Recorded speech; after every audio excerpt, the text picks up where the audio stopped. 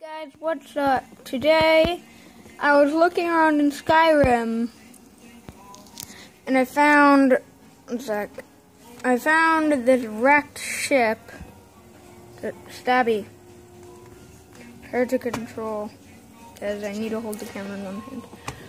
But I found this wrecked ship near the Lady Stone in this lake. I'll try to find it. One sec. It's hard. Okay.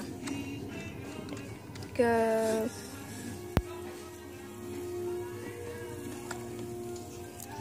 I'm just gonna.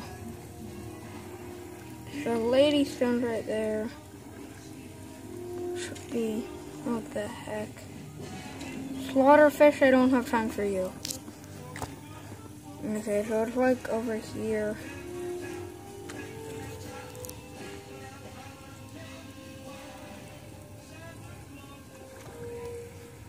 Like a pole sticking out. Well, yeah, I found this wrecked ship in Skyrim, and yeah, here it is. I found it. Okay.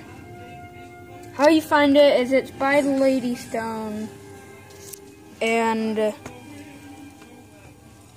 it has this pole sticking out. And there's loot inside of here. There's tons of chests, as you can see. But when you try to go in and take all the loot, it teleports you out. But if you go in there quickly and press E on everything you see, whatever your control is to pick it up, you get something like this. Go to miscellaneous. You get, you can eventually find an ancient jeweled goblet that is worth 10,000 gold, which is insane. And watch if I try to drop it. It says quest items cannot be removed from your inventory, so apparently this is a quest item. If any of you know which quest this is from, tell me because I really want to know and go do it.